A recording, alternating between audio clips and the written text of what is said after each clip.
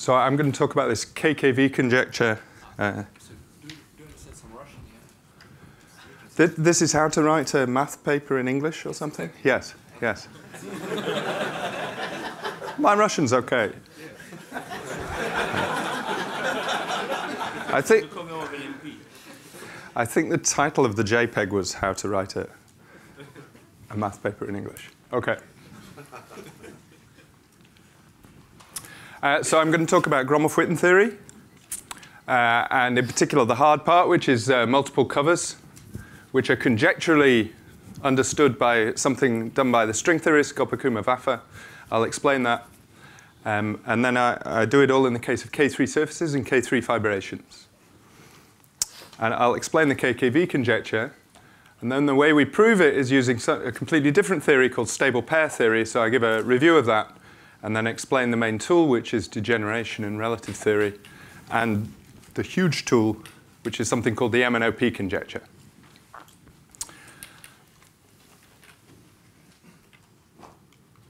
Okay, so uh, Gromov-Witten theory is nonlinear, and so it's very hard. In particular, you need two Fields medalists to sort it out just for a point, so the theory of mapping curves to a point. Um, and then it was also worked out by Maxime for P2 just in genus 0, which is also somewhat kind of more linear. Um, and it's since been worked out for a curve, so we now know how many curves there are in a curve uh, by Okounkov Pandra Panda. And there's some understanding of surfaces due to Taubes and the Göttsche conjecture. Uh, but really, what we want to understand is Gromov-Witten theory of threefolds. And uh, that's very difficult, but there's this wonderful thing called the MNOP conjecture. And uh, that's been proved by both toric varieties and most Calabi-Yau threefolds. So Calabi-Yau threefolds that can be degenerated to unions of toric varieties uh, by Pandra, Pandra, and Pixton. Uh, and so this talk's kind of an exercise in using that progress to try and compute the Gromov-Witten theory of K3 fibered threefolds. Um, it's still very difficult. You still have to compute the stable pair theory, which is somewhat more linear, but it's still, it's still very difficult. And you've still got to compute all these multiple covers and so on, but that's what we do. That's what we're doing this talk. Uh, so in particular case of K3 surfaces, in genus 0, uh, there was this Yau-Zaslow conjecture in 1995, which we've heard about before, involving modular forms. And so it's proof for primitive classes, so classes which are multiples of other classes, uh, by Beauville and Bryan Conan Leung, who's here. And then in all classes, but in a very roundabout way, by invoking mirror symmetry uh, in genus 0, so relating it to variations of Hodge structure on the other side. And then for the full Gromov-Witten theory of K3 in all um, genera, there's this Katz-Klemm-Vafa conjecture, which I'll explain later. And uh, again, it's been proved in primitive classes, um, but today we're going to deal with all classes and all multiple covers. Okay, so I give some brief review of Gromov-Witten theory.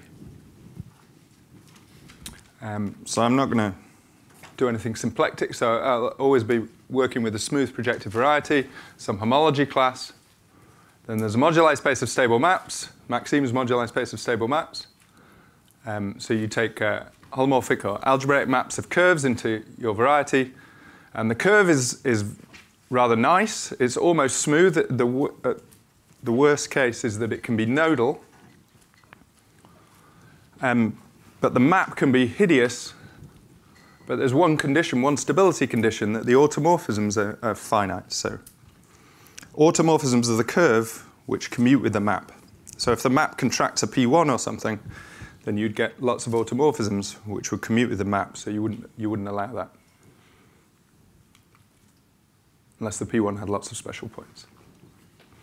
So uh, there's a moduli space of these things. It's a Deligne-Mumford stack because there's some these finite automorphisms coming from here. And then the space of deformations minus the space of obstructions has a constant dimension given by a Riemann-Roch formula. This is called the virtual dimension. It's given by this formula.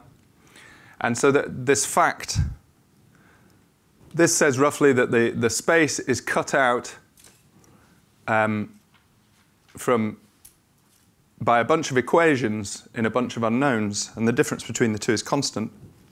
So you might imagine um, that you could perturb those equations and get some kind of cycle of actual dimension this. So in general, the moduli space has two higher dimension, but you can get a cycle of actual dimension this um, done by uh, Li and Tian and Behrend and Fantechi, again pro proposed by Maxime. And this is called this virtual moduli cycle, and this is what replaces the moduli space. So the moduli space has the wrong dimension, but you use this cycle and you integrate against it. And this gives you Gromov-Witten invariants, and they're rational numbers because of this, uh, these automorphisms. Okay. So there you go. That's Gromov-Witten theory in a slide. So uh, this example is conics in P2. So you might have some conics x squared equals ty squared in P2 degenerating to a double line.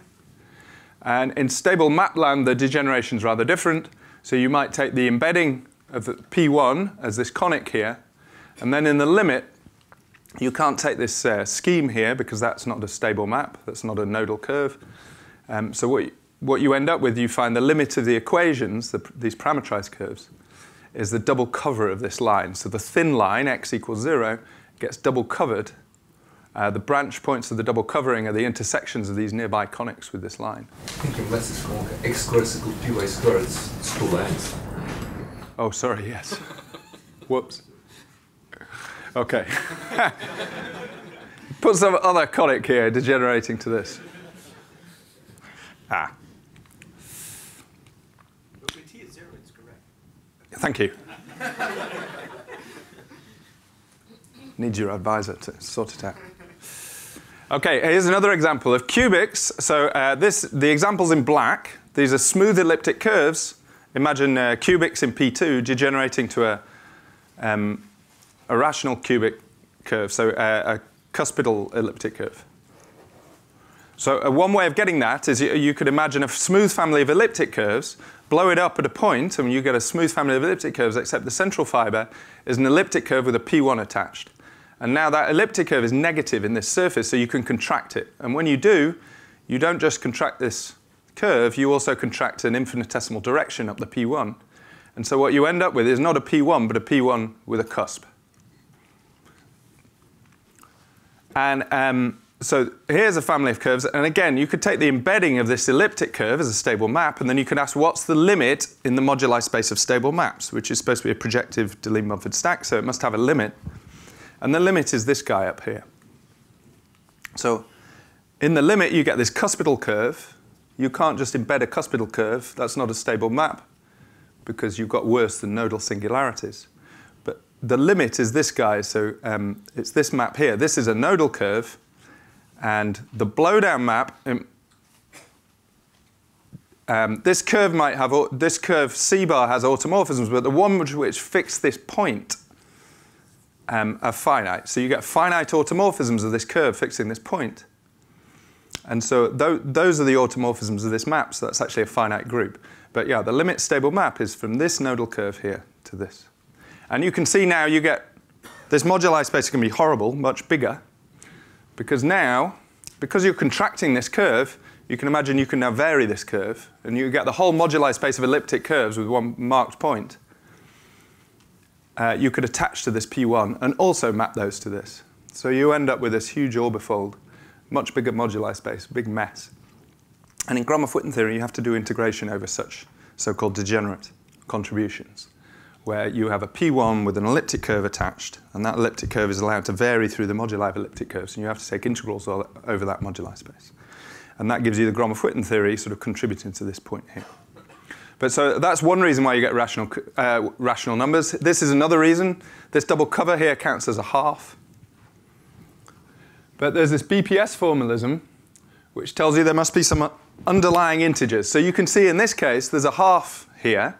In my class, two times a line. In the class for quad conic, there's this half uh, counting this double cover here. And then there's all the other double covers. But there's an underlying integer, which is the, the 1 counting the embedded line in half the homology class. And the BPS formalism tells you that that's kind of universal. Once you know the, the invariance, there are some integer invariants um, in some smaller homology classes. And once you know those, there's universal formulae which tell you where all the rational numbers come from. They tell you about all these multiple covers. So this, this is all conjectural due to Gopakumar-Vafa. What you do, for the purposes of this talk, it's just numerology. So you rewrite these rational numbers in terms of equivalent numbers by this formula. And uh, th this is a, these are equivalent data. So given these Gromov-Witten invariants, you get these BPS numbers. Given a set of BPS numbers, you get Gromov-Witten invariants. And you can see roughly why is because this, the power expansion of this sine here to first order when d equals 1 gives you this term here. So this is some upper triangular linear uh, there's some infinite matrix which is upper triangular relating these numbers to these numbers. And it's got ones on the diagonal, so it's completely invertible transformation. And conjecturally, these numbers are integers now. So this, this encodes all the multiple covers. So that means in particular that all the denominators in the growing things come from Bernoulli numbers? Uh, yeah, well, I would ask you that. Is that correct? Okay. Powers of sine are essentially higher than something very similar. Okay. Yes. Conjecturally. So in particular, they're very restricted, and the, Yes. the, the denominator can't be very big. That's right. Given that degree. So, so here X is a threefold or X is anything? Calabi-Yau, yeah. Uh, Well, X is more or less anything, actually. Con- conjecturally, one can also do this. Once you put appropriate insertions in, in and so on, and, and get numbers, then Rahul Pandharipande ICM talk conjectures that this also holds. Yeah. But the physics derivation only applies to Calabi-Yau threefold. The, the Gopakumar-Vafa only conjectured this for Calabi-Yau threefold. So Rahul has an extension in. It's more or less Well, let me, let me be careful. He has an extension for arbitrary threefolds, and you get versions for surfaces and so on from that. Maybe, yeah, you're right. No, in higher dimensions, that's. Um, he, he has other papers conjecturing there should be some integer structure, but it's not entirely clear what it should be. Yeah, in fact, it was another source of integer structure derived from Peter through some integer numbers which are K-theoretic uh, uh, invariants by given path. For example, consider this stack of the stable maps to Sri Calabi-Yau. It's kind of horrible dilemma for stack. You consider age uh, Euler characteristic, early holomorphic characteristic of sheaf O. It's an integer number. Yes. And given that formalism gives some, some kind of formula expressed from trueness or upper triangular matrix, but nobody knows whether they are uh, coupled Same or not. Yeah. Uh-huh.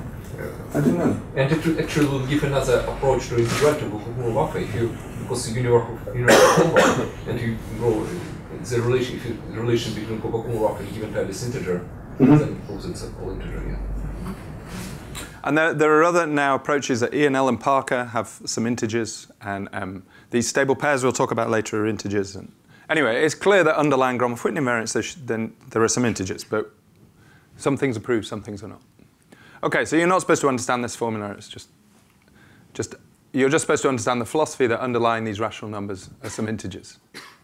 Okay, so for instance, in an irreducible class, what you find is to leading order, to the first order, these BPS numbers are the Gromov-Witten invariants. There's no room for multiple covers or degenerate contributions. And then um, to next order, once I double the class in genus zero, let's say, I get this, this definition here. So this says I count my curves in class 2 beta, and then I need to subtract off a contribution from those in class beta which have been multiply covered. And I subtract off the contribution given in genus zero by this Aspinwall-Morrison multiple cover formula. This is the prediction, and that is indeed what this formula tells you. And uh, we'll, we'll see something about these numbers later on. But th- these are conjecturally integers, and indeed they are in all cases, they be computed. Is that, is that right? Yeah, yeah. Okay.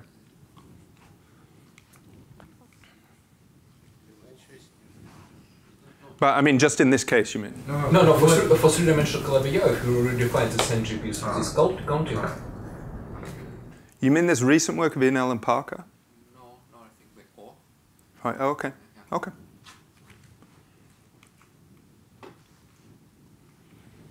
Right. So, uh, any questions? That's Gromov-Witten theory done. I don't know why they. Can I ask a stupid question? So there was also some denominators because of the genus, like in the in genus one, because of the moduli space itself being a stack, or is that not? not no, am I just asking something stupid? Oh no, I think I just don't understand. Say again. So if, if you look at genus one, there might also be some denominators from some kind of constant um, constant, you know, maps map, map into a constant because of, Yeah, so integrals over moduli space of curves. Yeah. And they're all in there. Yeah. and what's the intuition for how to extract the integers that lead What's the. left hand side? Yes, mm-hmm. No, but Yes. beta non-zero. I'm sorry. But, but tho- those are all in there in the sense, like in that, that cubic example I had, where you have these degenerate contributions. So anytime you have a, imagine you have a P1, then I can glue on any of those curves you said to that P1 and contract. So I get integrals over the moduli space of curves in that way, and they're all encoded in here. And this conjecture is that they all go away once I do this. So I guess the, the question is, in the genus zero case, you kind of explained to us naively why I expect there are integers around. Right. But, but in the higher genus case, what's the intuition? The intuition, well, I mean, one intuition is uh, Rahul computed all these integrals over the moduli space of curves and uh, Faber, and uh, they got all these formulae. I mean, I have no intuition. Yeah, Gromov-Witten theory is really a silly. I should be careful. I mean, to, to try and understand the numbers is really a silly game, uh, in my opinion. One should not try and understand the numbers. I mean, maybe the generating functions, that's a different matter. I, I think going backwards, we would not have started with Gromov-Witten theory if we'd, we'd chosen to try and count curves in a variety or something.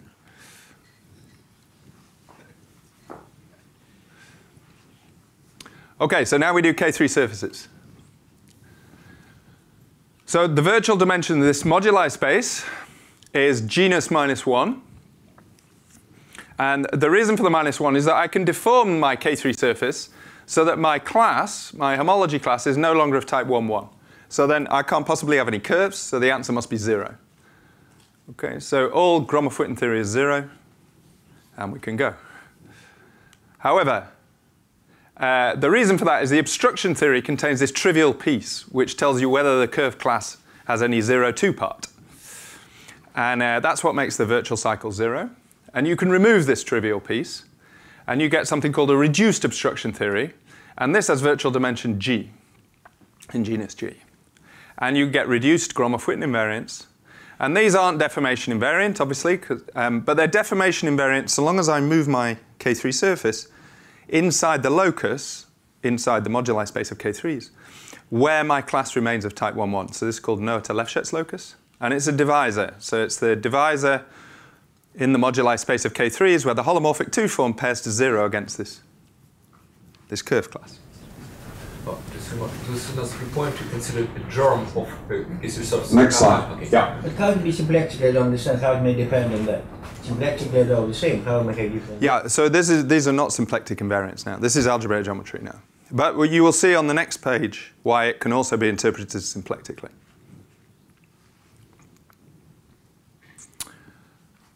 Okay, so, so you should think of, um, I don't know, elliptic K3 or something. So you have a one, the, the elliptic fibers have genus 1, and indeed you have a one-dimensional moduli space of elliptic curves. And uh, you can destroy that by deforming the K3 to no longer be elliptic so that the, the curve class, the fiber class, is no longer of type 1, 1. But while you're in this Noether-Lefschetz locus, you expect it to be one-dimensional, and that's correct. And indeed, in there you have 24 singular fibers, and they give you zero, uh, genus 0 curves, normalizing the, the nodal curves. And they indeed appear in dimension 0, and you can count them and get 24. And that's one of these reduced Gromov-Witten invariants. Okay, so there's a threefold point of view, and this, this is what answers the question, two previous questions. So what you can do is take a disk in the moduli space of K3s. I'm not really telling you, um, you've got to pick some markings and so forth, but anyway. Uh, intersecting this Noether-Lefschetz divisor. So this is some kind of moduli space of K3s, and there's, here's this divisor where my class is of type 1, 1, so I might, it might contain a curve. And you take this disk, intersect it transversely, and that corresponds obviously to a K3 fibration. So these are all K3s. All the points of this disk correspond to K3s. So I get this K3 fibration over the disk. Um, with the K3 I care about at the origin. And uh, really what you're doing is considering curves in this guy, in the fibers of this guy, and ordinary Gromov-Witten theory. And that changes the obstruction theory. So you can see the problem. I mean, this, this if you were just dealing with a point here, you could move it off this divisor, you get zero. But if you consider a disk, then of course you can't move it off the divisor, it always intersects. Okay, so all curves in this fiber class actually lie in the central fiber. Um, but you get a different obstruction theory, and you find the virtual dimensions now zero because you're in Calabi-Yau land. And so the invariance about this talk is concerned with these invariants. You integrate one over that moduli space with that virtual cycle of, of virtual dimension zero. And you can express it in terms of S itself. What you do is you take that reduced class I was talking about before and you integrate a certain uh, Hodge class over it, or lambda class, which is the top Chern class of the Hodge bundle. All right, so any questions? This talk is about this, this number. So these are, these are the Gromov-Witten invariants we think of as of the K3 surface. But really, they're the contribution. Actually, I might say it. There we go. They're the contribution of how this K3 surface contributes to the fiber-wise Gromov-Witten theory of threefolds. Okay, so these are really kind of threefold invariants. But these are the invariants we're interested in.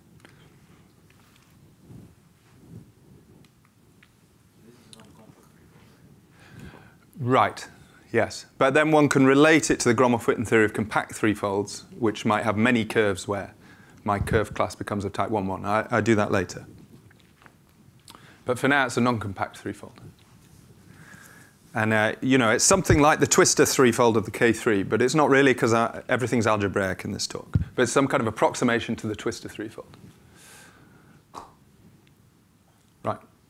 Okay, so what's the Katz-Klemm-Vafa formula for these invariants? I rewrite them in BPS form by those universal formulae. So uh, these are now rational numbers which we conjecture are integers. And then two miracles happen. Not only do they turn out to be integers, but also they depend only on the square of the, the curve class, not on how divisible it is. So it's clear that these Gromov-Witten invariants we've defined, by deformation invariants and Torelli and so forth, they only depend on the square of the curve class and its divisibility. They're, they're the only invariants, really, of a homology class in a K3 surface. So they depend on how divisible the class is, how, how many times it's a multiple of another class. But these uh, BPS invariants do not. This is this is some kind of incredible thing and shows you that BPS invariants are the right things to consider somehow. So, uh, you know, if you're looking at curves in two times some class, you subtract off some contribution, as told to you by Gopper, Kummer, and Vafa, for the multiple covers of curves in half that class.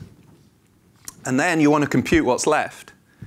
Incredibly, you can just forget about this homology class and go to a completely different homology class, which should have no relation. The only relation is its square is the same.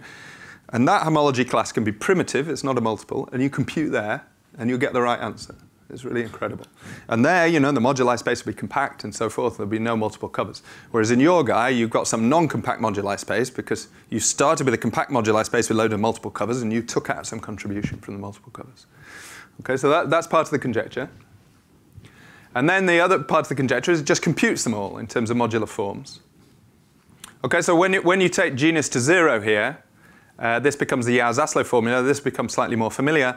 Well, did I say, when you take z to 1, yes, when you take z to 1, what you get here is all that survives is the genus 0 part, and you get the Yau-Zaslow formula. So when you take z to 1, this becomes 1 minus q to the n all to the 24, this famous modular form.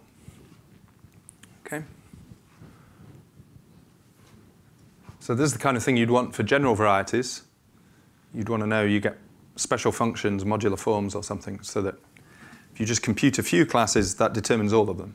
So th this is true for K3 surfaces. Any questions? But there is no explanation of that non-numerical explanation. The modular form also got a geometric objects. There is no geometric directing. I mean, this, this also comes up in the core, if you look at the cohomology of K3 surfaces and their, their Hilbert schemes, this also comes up, and then there's vaguely geometric explanations to do with partitions, and Hilbert schemes clearly have something to do with partitions. Yeah, I, I think it's not satisfactory. That's correct. Yeah, and, and in particular in this talk, this is just going to be computed by brute force. Okay, so in particular, you get these, here's a table of numbers. These are the Yau-Zaslow numbers along the top. And these are really incredible. The fact that you get zeros down here, really incredible. So it says whenever you get a curve, of course you get all these higher genus curves mapping to it, they don't contribute to BPS numbers. They've all been taken out. They're all there in Gromov-Witten invariants, but the, the BPS numbers have already removed those. You can get, all you get is lower genus curves mapping to your curves. So how do you get that? It's because you're only picking up the curves which are singular. When your curve becomes singular, then you can get lower curves, lower genus curves by normalizing and so on. Uh, this number's kind of familiar. This is just the signed Euler characteristic of the linear system. So you take your curves and just take the projective space they live in, uh, the sections of the line bundle, and uh, take its Euler characteristic, and that's where this comes from. So these numbers are familiar, but then all these are pretty amazing. All right, so how are we going to do this? Uh, we're going to degenerate and so um, as I said, Pandora, Pandora, Pixton proved this MNOP conjecture, which I haven't told you what it is yet, for projective threefolds which can be degenerated to unions of toric varieties. So we're going to use that, uh, but that'll give a very, that's a very global thing, and we want to use some degeneration arguments to get a local MNOP conjecture, local to S, so for this kind of twistor space. And, and then the multiple covers, once we've used MNOP conjecture to convert everything into this theory of stable pairs, which I also haven't told you about yet, um, the multiple covers become thickenings, scheme theoretic thickenings of stable pairs. And one needs to calculate these, and, that, and that's not trivial, but we'll do that using some other tricks. There'll be a vanishing theorem and a calculation, uh, localization calculation. Okay. So the Katz-Klemm-Vafa conjecture again is, is the fact that everything depends on the square of beta. Is that the Yeah. conjecture? Well, the conjecture is two parts. It's, it's that and it's this formula. Okay, so I have to tell you what stable pair is. Uh, so this is more like, uh, so the slogan is Gromov-Witten theory counts parametrized curves, and this is unparametrized curves. This is uh, just their images. This is uh, embedded subschemes, more or less. But you'll see why you can't get away with just embedded subschemes. It's a bit of a mess. So you, you use these things called stable pairs. So a stable pair formally is a pair, so a coherent sheaf with one-dimensional support and a section, which is stable. So it's the stability conditions that the sheaf is pure, as torsion-free on its support, and that the section has zero-dimensional co-kernel. Okay, so if you don't like that, a stable pair is a curve, a pure curve, no embedded points, no points knocking about. A pure curve, it could be non-reduced, it could be a thickened curve, but not just at points. It has to be non-reduced everywhere, if it is non-reduced. it can be disconnected. And a zero-dimensional subscheme of that curve, or a divisor on that curve. Okay? That's, that's what a stable pair is. So for instance, if you just have a curve in a variety, you get a, a stable pair from it. You take the structure sheaf of the curve, that's your sheaf, that's the torsion sheaf supported in dimension 1, and the section 1. Or you might have a curve with a divisor on it, a Cartier divisor on it. Then you get a line bundle on the curve with the section vanishing on that divisor. That is also a stable pair, so that's the curve with the divisor. Or you might get something where you get Weil divisors, it gets a bit more complicated. So a simple example is where you have the structure sheaf of two curves, let's say intersecting in a point, and you take the obvious section 1. That has co-kernel wherever these curves intersect. So you take the trivial line bundle on both curves. Where you intersect, that's kind of got rank 2 in some sense. So the section only hits rank 1 subsheaf, and you get co-kernel at that point. So what you find is you get points at the intersection of C1 and C2. All right, so that's what a stable pair is. Um, they form a projective moduli space. Uh, that was proved by Le Potier. And uh, we fixed some numerical invariants. So before it was the genus and the curve class. Here, the genus is replaced by this holomorphic Euler characteristic of the sheaf. And the curve class is the same. And so this holomorphic Euler characteristic here is, if the, if the curve is, let's say, reduced, then it's 1 minus the arithmetic genus of the curve, but then plus the number of points. And this is a deformation invariant quantity, as you, I'll show you in a minute. Uh, until now, x is just a projective variety, but it's just about to become a threefold. Smooth projective variety. Okay, so an example is a surface. Uh, then uh, what you find is it's precisely this moduli space of stable pairs really is curves with points on them. So you take, I'll tell you how to read this, you take the Hilbert scheme of curves in S in class beta. So if, if the surface has no fundamental group, this is just a projective space of sections of a line bundle.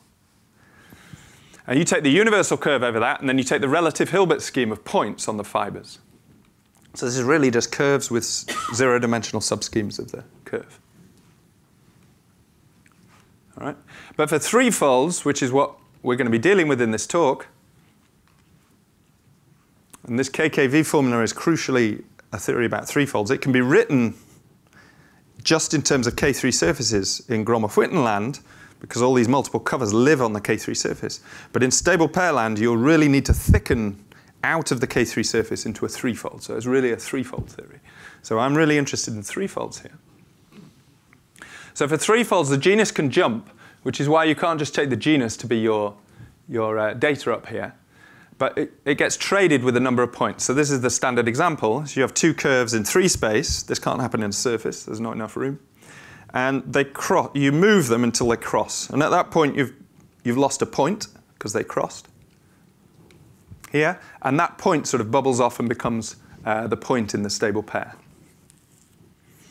And then in a, a further family, you can uh, you know, move that point around the curve, smooth the curve. So in this picture, you can see the genus is increased by one, but the number of free points is also increased by one, and this quantity remains the same.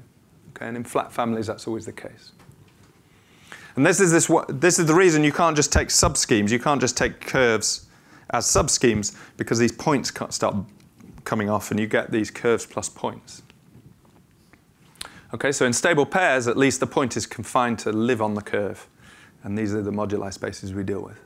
All right, so any questions about stable pairs? This is just curves with points on them. Okay, so, so this result here says that they're very simple for surfaces, and we use that later on. For threefolds, they're a bit more complicated. They can't be described quite in this way because of this phenomenon.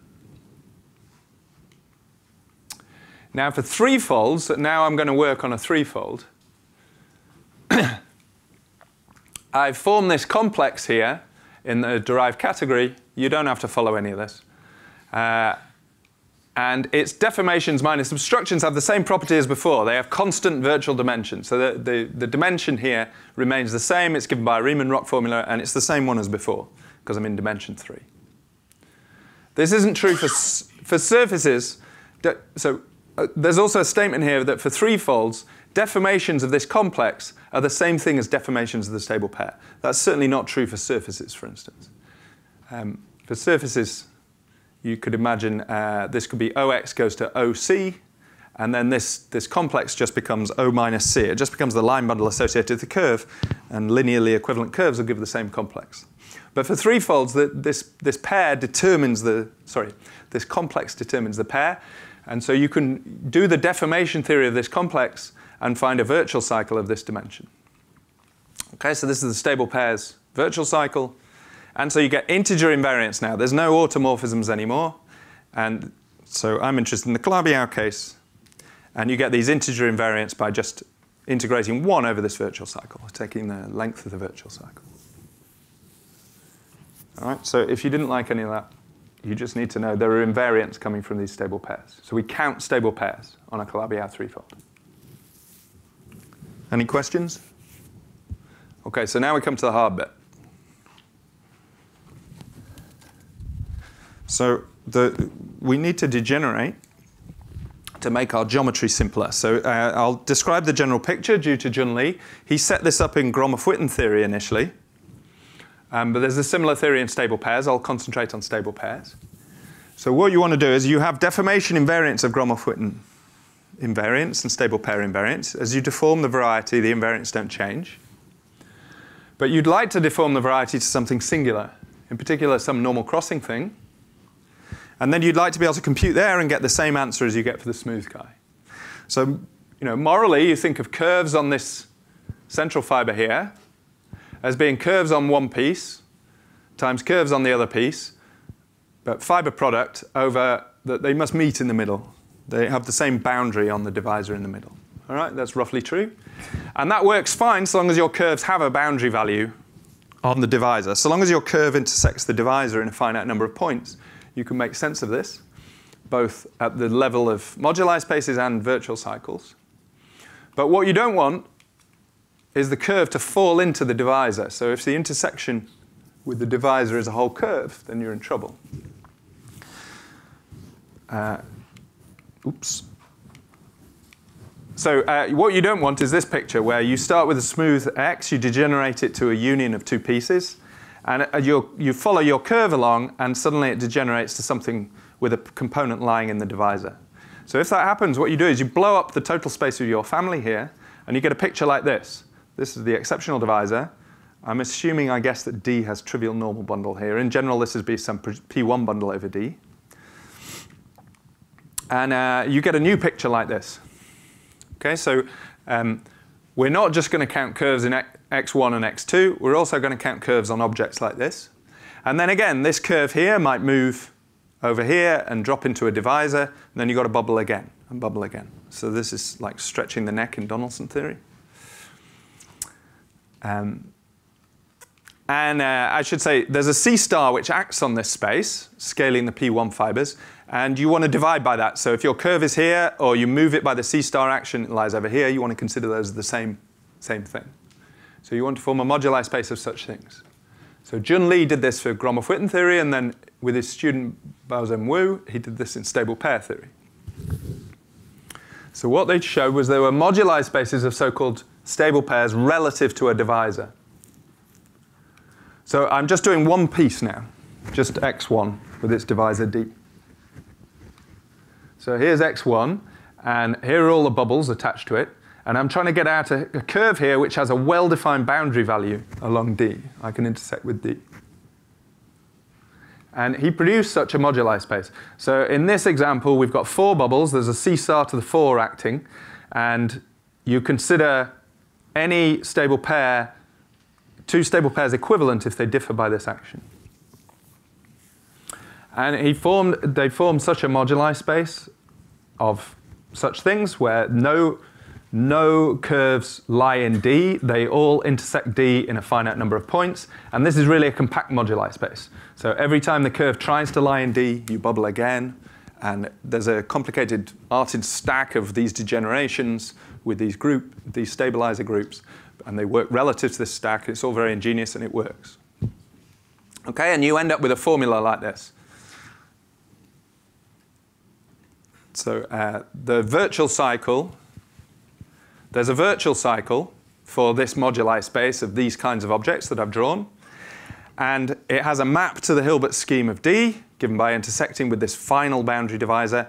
And then you get this wonderful formula, which is the form I said before. You intersect in the Hilbert scheme of D. You take the boundary values of curves on x1, the boundary values of curves on x2, you intersect, so you see where they match up. And that gives you a new virtual cycle, which is deformation equivalent to the virtual cycle on the original smooth guy. All right. Is that clear? Homologous in what sense? Homologous in what space? I'm confused. Uh, I guess in the total space. So if I have a one-parameter degeneration of a smooth threefold into this okay, okay. guy, then I get a family of moduli spaces and family of virtual cycles.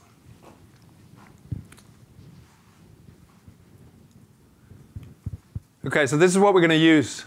So we start with our twistor threefold. So we're interested in stable pairs. For instance, they're all going to lie on the central fiber, but possibly thickened out of it. And you know, we can't compute that because these damn K3 surfaces keep changing. They're moving across the base. Uh, and we degenerate. So uh, we replace this by its deformation to the normal cone. So I take this guy, I times it by C, I blow up S in the central fiber, and I end up with a new central fiber, which looks like this. Okay, so I've degenerated this guy to this guy, where I've just bubbled off a a P1 times S.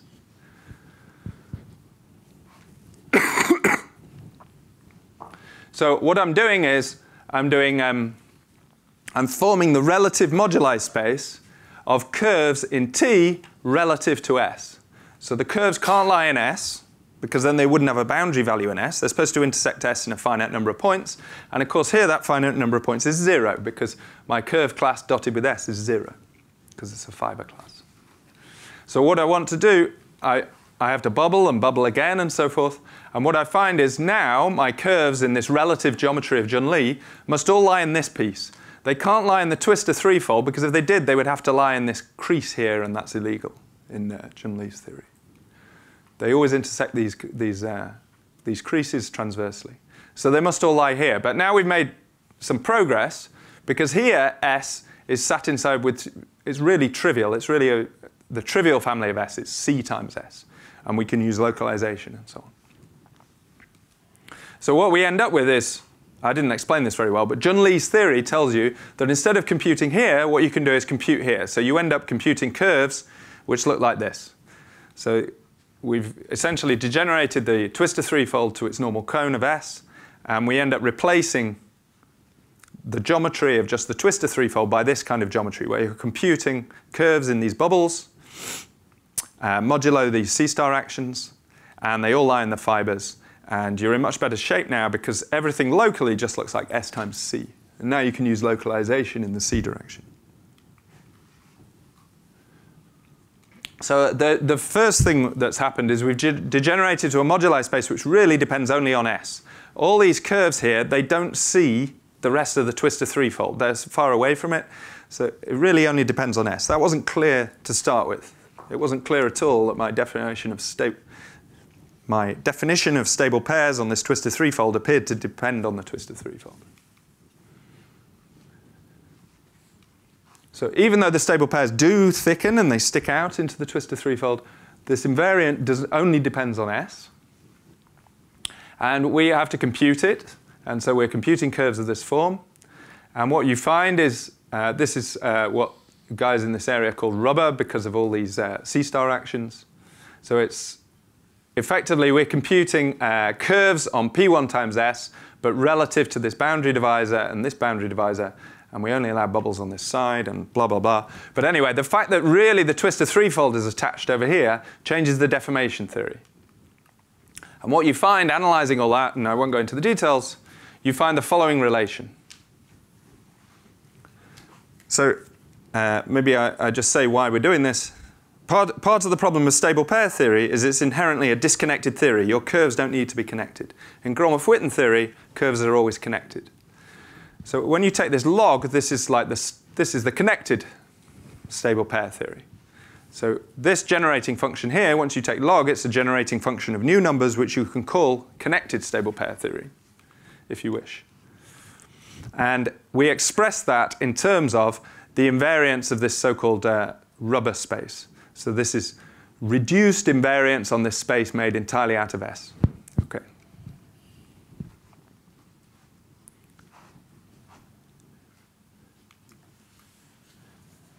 So we now have these connected stable pair invariants defined by this. They're the generating function, the coefficients of this generating function. And uh, we prove, we've now we've now done two things. We've shown they only depend on the K3 surface, and we've computed them. Uh, we've shown, in some sense, how to compute them. We've related to this geometry here, which is rather trivial, and we can use localization on, and we'll do that in a, in a slide's time. Okay, but the first thing we do is we prove a so-called pairs Noether correspondence, because I want to use a global X, not just this twistor guy. Because the global X I'll have a so-called MNOP conjecture for, relating it to Gromov-Witten theory. So uh, the idea of this, you don't, this is a little bit hard to pass. And the reason for that is in a global K3 fibration, you can't just talk about classes on one K3 surface because there might be monodromy. So you have to sum over all classes which push forward to the same class on the threefold. So it all becomes a bit of a mess explaining it. But here, here's the explanation. So what this says is connected curves counting on a global projective K3 fibration come from the curves locally, this sort of uh, twistor theory, the curves in one, one fiber, times by the number of fibers for which my class becomes of type 1,1. That's the, this, the shape of this formula is very simple. All right? So it says, in general, you have a K3 fibration. How do I get curves in my fiber classes? I only get them when the K3 fibers in the Noether Lefschetz locus. That's this contribution. And when they do, I get this contribution coming from the twistor threefold.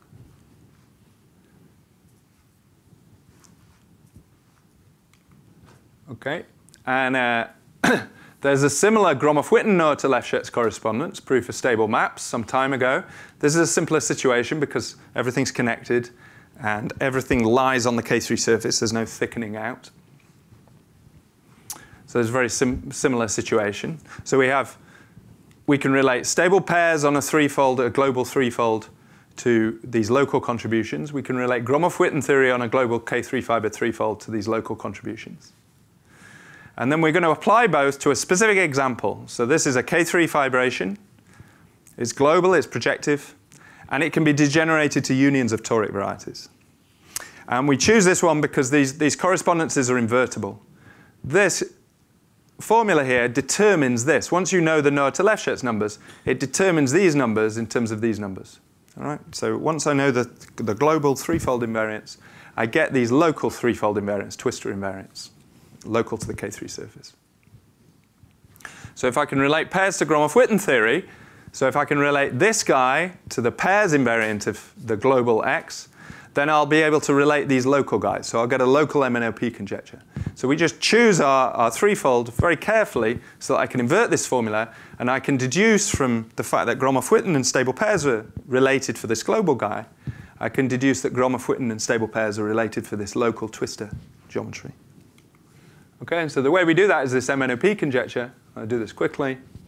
The MNOP conjecture is just a relationship between stable pairs and Gromov-Witten theory. And you're not, again, you're not supposed to understand this formula. It's a preposterous formula. But um, again, you turn connected Gromov-Witten theory into a disconnected theory by taking this exponential. You then get the stable pair theory, but only after this crazy change of variables. All right, but all you're supposed to understand from this formula is that the two sets of invariants contain the same information, and also there are some integers underlying Gromov-Witten theory. And why does this change of variables make sense? It's because part of the conjecture is that this right-hand side is um, the Laurent series of a rational function. So here's an example. And uh, this rational function is invariant under q goes to 1 over q. Not the Laurent series, but the rational function. If you put q inverse in here, you'll see multiply top and bottom by q squared, you'll see you get the same function. Okay, so it makes sense to make this, this, this substitution. Yes? This, form formula looks formally very strange because before you wrote the sum with the Gromov-Witten invariance was the sum with the BPS invariance. Right, I'm not doing that now. Well, but I mean, there was such a formula. Yes, I agree. And then that formula, in the special case, was was a, Jacobi form, which is a product. It was Okay. a product 1 over 1 minus 2 to the n. So it looked like something you would take the log of. You take logs of products, you don't exponentiate. And this formula Okay. looks very weird. Uh-huh. But you really are once taking the log and once exponentiating the same series. I mean, these things are much simpler in some sense. There's also a BPS formula of this, and you've. I, I know, but Mathematics in general, you, Yeah. generating functions that yeah, I can't answer your question. exponentiate, you might want to take the log, but I've never not actually when you do both in the same series. In one form, you took the log, and here you're exponential in the exact same series, and that looks very weird. No, no, no, but the story here is it's here we get kind of one-dimensional shift. It's kind of have shift or and something around. Yeah. In in in case you you, you do not in any uh, in the kind of sublattices but shifted sublattice, and yeah, so it's somehow difficult to do it in all crossing stuff whatever it's. So, But those Yeah. don't have different. ah, No, but Yeah, maybe, don't it's, it's, maybe it's because it's a different X. I mean, there it's no, I think No, no, same X, same X. Yeah. No, but wasn't it a column? I mean, here it's a projected threefold, and there it was K three. Uh, well, yeah, but it was part of a threefold. It was fine. One can formally one can do all this for any threefold, and uh, that's right. All I was trying to say was these. There's also a BPS form here, and these have become when you see it, these become very simple formulae. They're all of this kind of form. They're, they're all rational functions with poles on the unit circle. They're all, you know, q to the n's over 1 plus q to the n's all to some powers. And maybe, maybe there it's not so crazy to do what you said. I don't, I don't know. The formulae turn out to be not so bad. No, each formula is nice. They just seem to contradict each other. I'm not, I'm not good with formulae. Immensely by taking the log, and one you simplify immensely by taking the exponential. It's the same thing, and that's not Yeah. How much do you expect? Okay. Okay, come on, it was just. Okay. I thought actually maybe it was just a misprint. You wanted the X on the other side. You, you really mean this? Yes, I really mean this. Yeah. Okay, so this is actually proved for projective complete guys, which can be degenerated to unions of toric varieties. So it's proved for this guy. And for this guy, I can invert those correspondences relating counting curves in the K3 fibers plus the counts of which K3 fibers my class is of type 1, 1, these Noether Lefschetz numbers. I can invert that, and so I can deduce from their proof of the MNOP conjecture this local MNOP conjecture, local to S. So we get this kind of MNOP conjecture for this twistor threefold. All right. Um, so we're kind of, we've done all the MNOP stuff now. This Gromov-Witten invariance that we want to compute has been reduced entirely to computation of stable pair invariance. So now all you have to do is compute the stable pair invariance. And as I said, remember they thicken, they, they stick out of the K3. They're really threefold invariants. But we, we reduced those as well to this, uh, these computations on this so-called rubber, this uh, K3 times P1 with this group acting and so on. And you can further degenerate and localize on this, um, this rubber. And you can imagine now you can reduce everything to computations on S times C, localize with respect to the C star action on C, and that's correct. Okay, so you reduce everything to a computation on here. All right. So uh, we still have to do that. We have all the multiple covers correspond to thickenings in this direction. But all the, all the stable pairs are going to be, correspond, uh, going to be situated at S times the origin, because I localize. And one just has to compute. Now, so, so we can forget everything that went before. I just need to do a stable pair calculation. The KKV formula is now giving me a conjecture about what I get when I compute stable pairs on this guy. And now there's several advantages of stable pairs over Gromov-Witten theory. Um, and one of them here is that it has something called a symmetric obstruction theory. So half of you know what that is and half of you don't. It doesn't really matter, but roughly speaking, what it says is vector fields on the moduli space are dual to obstructions. And we used that before when we took this reduced theory. So um, you can take the obvious vector field where you translate along the c direction, and that's dual to the obstruction that we removed before to get the reduced obstruction theory under this said duality that comes up. And now there's another vector field, and that's going to give us a vanishing theorem. That's going to show, just as the previous vector field gave us this obstruction which showed the ordinary invariants vanish, and you have to pass the reduced invariance. Similarly, this extra vector field is going to give us a new vanishing theorem, a new obstruction which shows that the virtual cycle vanishes in most cases. So it's the following. What you do is you take a vector field on this moduli space, and it sort of flows outwards from the fixed points, the C star fixed points. Okay, so what are the C star fixed points? You have some you have some stable pair, which I'll consider as just a curve. It's supported on the central fiber, but scheme theoretically it sticks out in the C direction. And now I'm going to produce a vector field on this moduli space. It's not along this one, it sort of it takes you out of this one. And what it, what it does is I, I flow kind of the last part of my thickening here. So you imagine an n-fold, tran transverse to the curve, you're imagining an n-fold thickened point and breaking off the last point to give you an n minus one fold thickened point and a, a separate point. Okay, so one can write this down globally on the moduli space, but this is the basic idea. This gives you a vector field on this moduli space. All right? The vector field literally does this in finite time. No, no, no, no. Sorry, the flow does this, and then I differentiate it, and I get a vector field. There's a flow just local to here. So there's a flow on this. Uh, sorry, there's a flow taking this into this. So it, it's as follows. I take my thickened curve, and I break off this point. Okay? And now I differentiate that at time equals zero, and I get a vector field. So on here, I get a vector field with sort of values in vectors in here. So I get a vector field which points into here, but just along here. I don't get it on the whole moduli space. I just get a vector field along here, which points in this direction. Okay? That make approximate sense? So this gives me a new vector field on here. All right? Not along here, on here.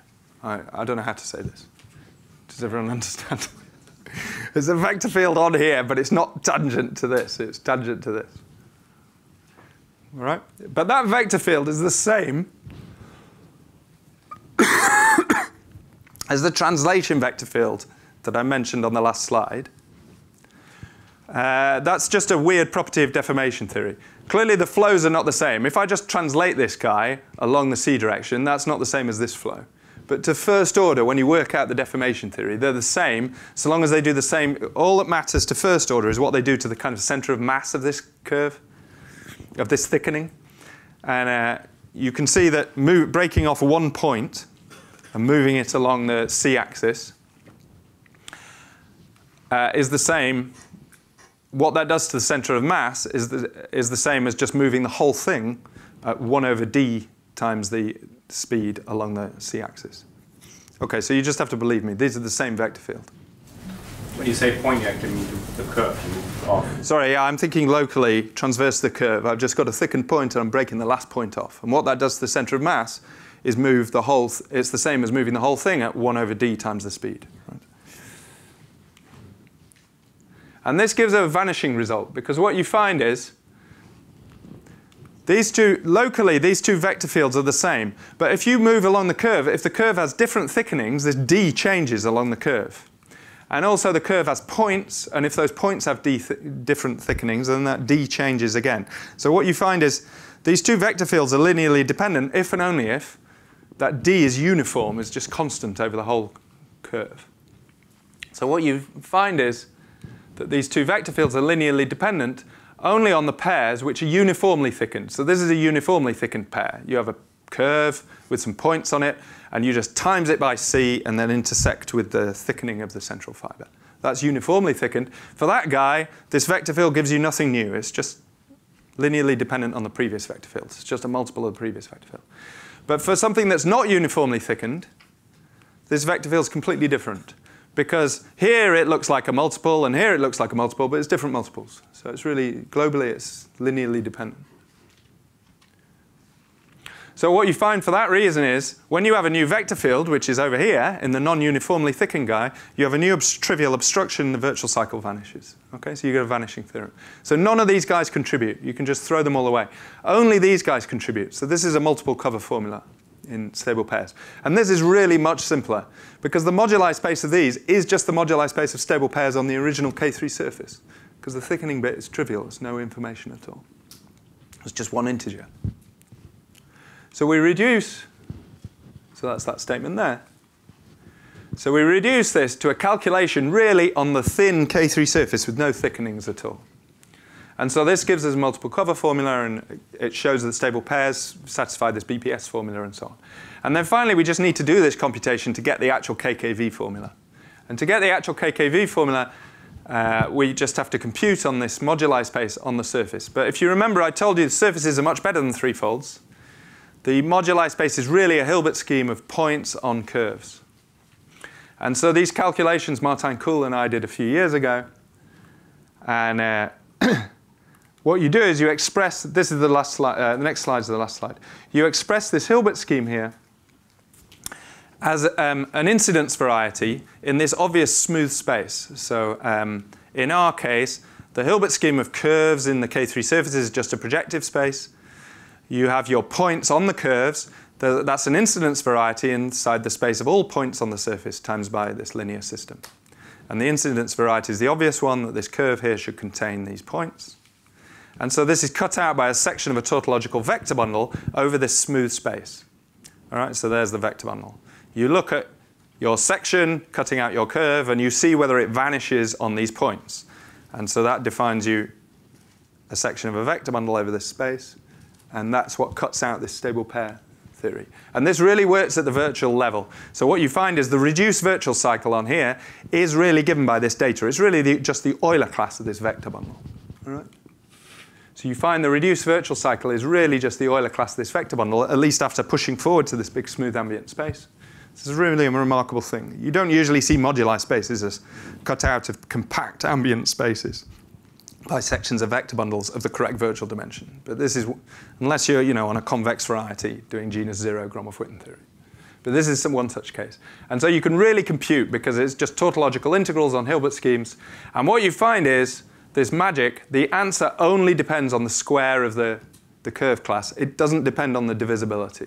And this is where you find this, this other Gopa um, KKV conjecture, that the BPS numbers do not depend on the divisibility of the class.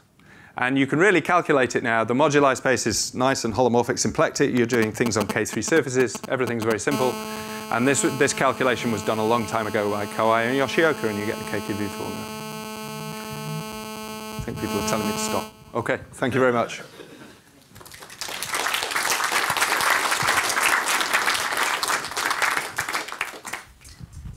Questions. Can you add some variable to your formula uh, because they are refined? Uh, yes. Yes, you can. And um, you can almost prove it at the Gopakumar-Vafa level.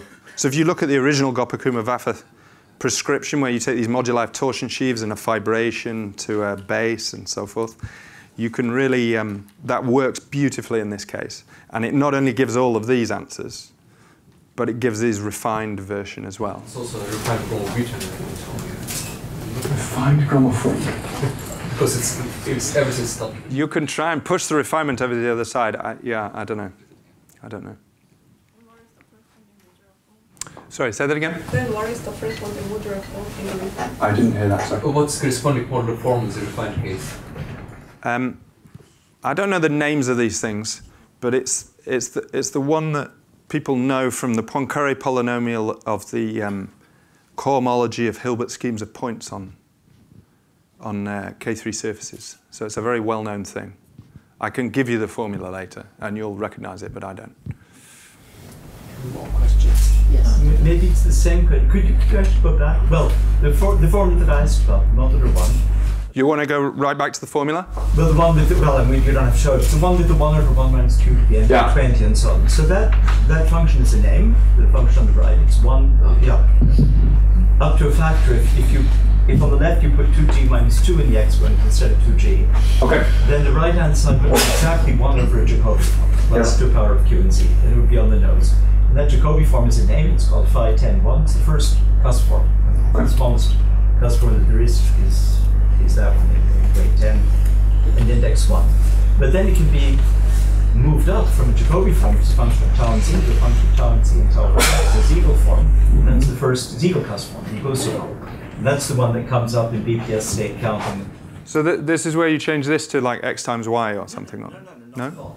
There's a, no, this is the constant. This, you don't change anything. This is the leading term in the expansion of the function that is a z, the same z, you don't change anything. z, q, but that's a q prime. Okay. And this is just the coefficient of 1 over q prime. But it's a whole Laurent series. Uh-huh, uh-huh. And that Laurent series, again, is 1 over a cusp form. And that cusp form is this, equals the cusp form of rate 10.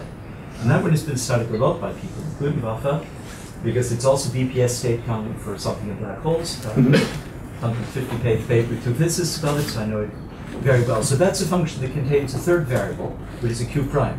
Mm-hmm. And so I'm also asking him, well, add that variable? That's very different from another modular variable, sort of another another elliptic variable. Z, it's another modular variable, another q.